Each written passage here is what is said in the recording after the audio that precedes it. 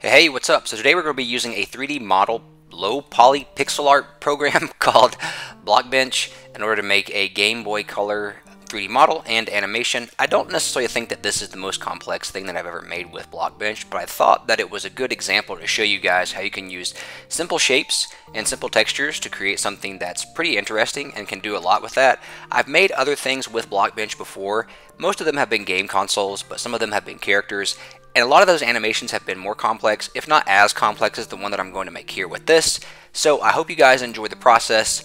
Uh, we'll revisit you in just a moment whenever we start getting a little bit more specific into the actual making of the Game Boy and adding textures and such.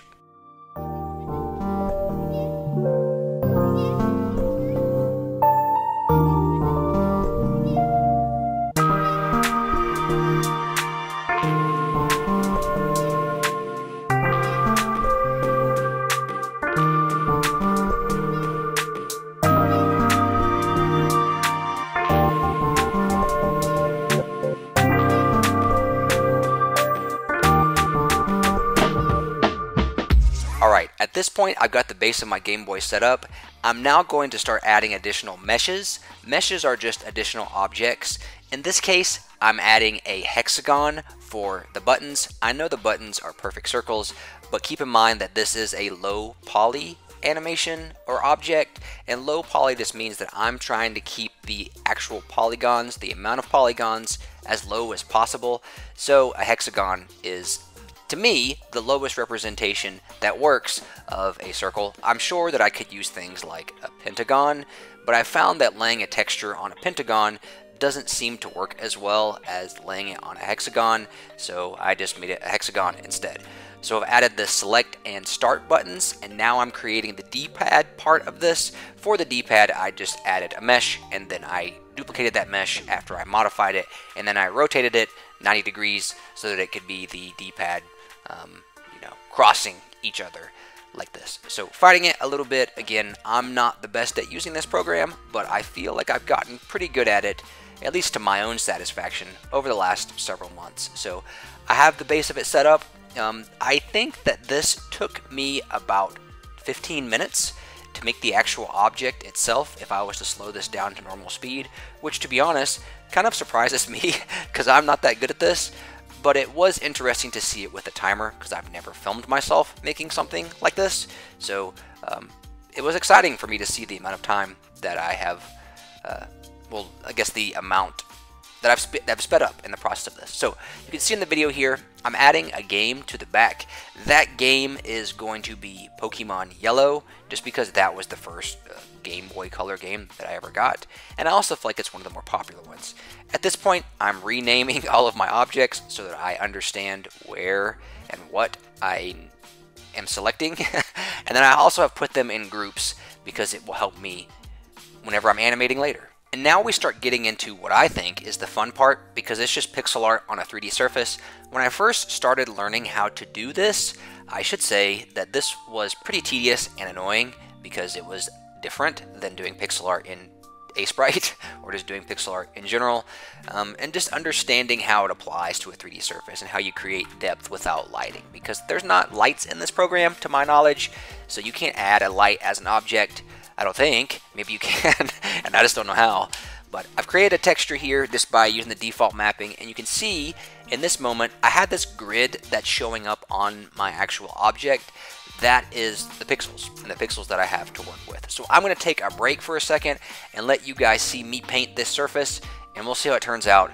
Uh, revisit you in a second.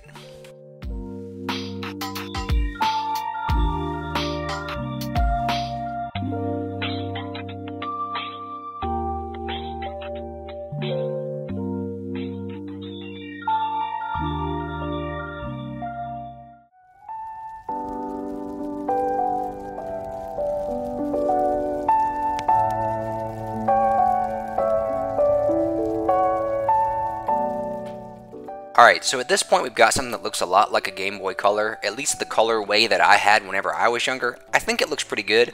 All that's left for us to do now is to add a texture to the game cartridge, which I need to find a reference image for that because I don't actually own Pokemon Yellow any longer. But I still have this Game Boy, which is cool, and I actually had it beside me whenever I was working on this. So uh, Game Boy's done, let's move on to the actual cartridge itself.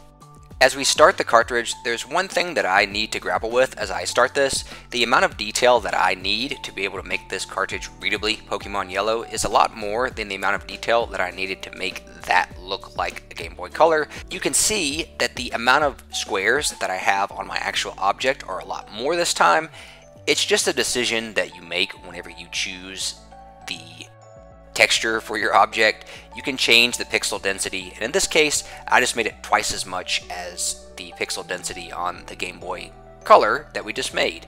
And you can see I brought in my reference imagery. That's one thing that's nice about these types of programs is that you can bring in a reference and just have it live alongside your actual object. But again, I'm trying to reduce this down into its simplest version. I'm not trying to create an exact copy of it because again, this is meant to be low poly, and it is meant to be pixel art.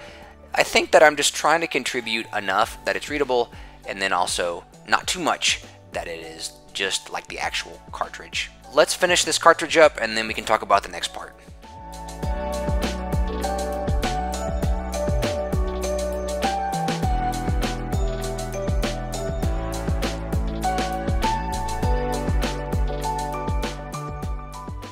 Alright, so putting the final touches on this part of the project here, getting the little screw on the back, and now I've got our pieces and parts together. You can see that they're one inside the other.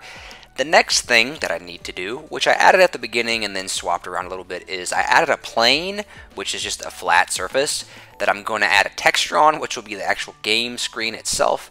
Whenever I do this though, I want this texture to be animated, and the way that you have to go about this to be able to get this texture animated, at least for me, I have to export the texture into Aseprite and animate it there, and then update that in Blockbench, and then it will animate the way that I need it to, which I had to find out in a roundabout way how to make this happen. So uh, we're going to see that happen. If you want a detailed explanation about that, find it somewhere else because I'm not the champ at this.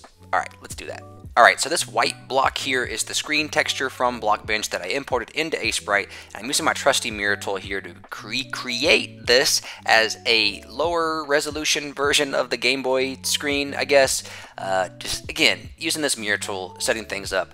It definitely won't say Pokemon at the end of this, and it definitely won't say Pika at the end of this, but it should be recognizable enough if you've seen the screen at some point in your lifetime and looked at it for as many hours as many of us have.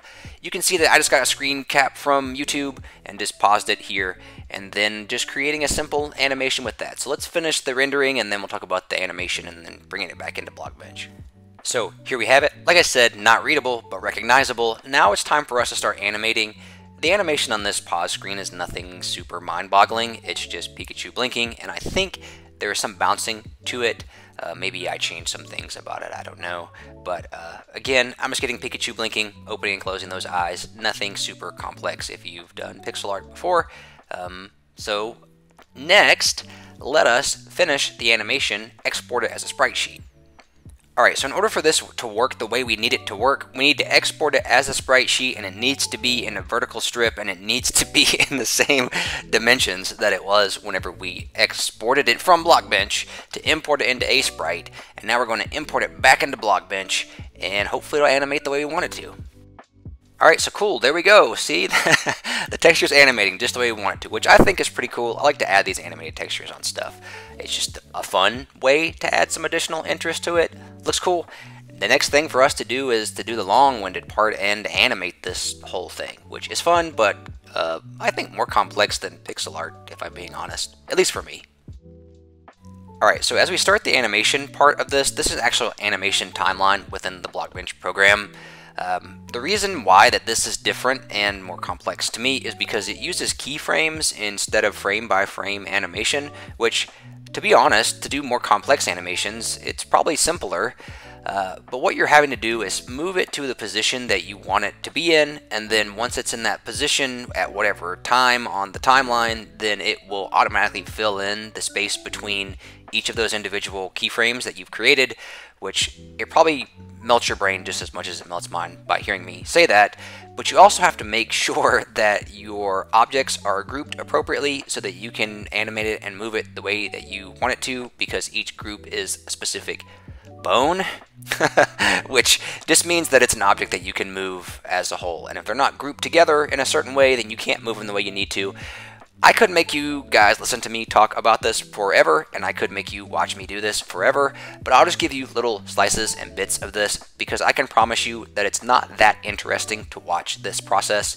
Uh, maybe you think it is, but I know there's other people who have, do a better job of explaining this than me. And I'll show you in the space below the video some of the channels that I look at to help me solve problems if I need help solving them. Alright, we're going to zoom through this and then we can talk about the After Effects stuff with this.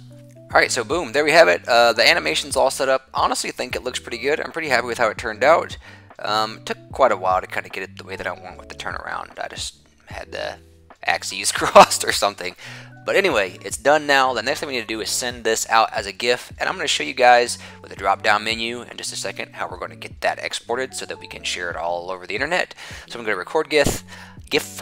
I want to make sure that the length is the length of the actual animation that is made. Um, I just make my frames per second 25 um, just because it helps me when I import it into Aseprite. The resolution 500 by 500 because it's just a nice square. And then we're going to click play animation and confirm. This little box here is just showing me what my animation going to look like whenever it's exported. So I'm kind of like moving pieces and parts around, trying to make sure it's in the right spot, it's at a good angle, everything fits in there okay. Um, it can be a bit frustrating just because of the way that I've animated things. Sometimes it goes outside the frame a little bit and I'm stuck having to do a little bit of additional maneuvering or getting it from a camera angle that I don't necessarily like. But regardless, I want to get a good angle and then I'm going to hit that record button and then it should write that as a GIF and I could put it in Aseprite again. Alright, and so it's writing it and there it is with a transparent background. You can do some background stuff in Blockbench with this, but I prefer not to do that.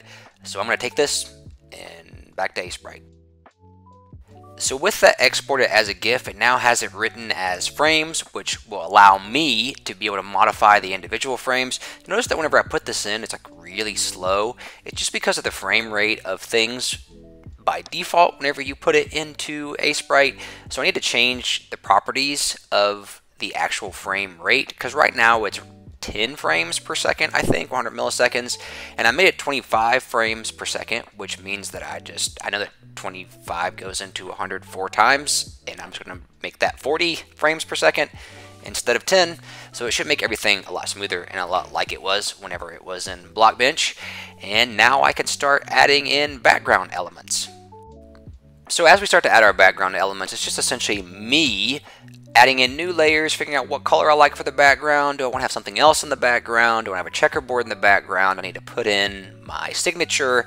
I need to make it look presentable because I don't want it just to be the transparent background. I think that it's nice if you're sharing that like via a text message or something, or using it as like a notification on Twitch or whatever, if you just have it with a transparent background. But for me, I want to present this and package it up so that I can share it on social media platforms. So um, let's do those little parts and then show you the final animation.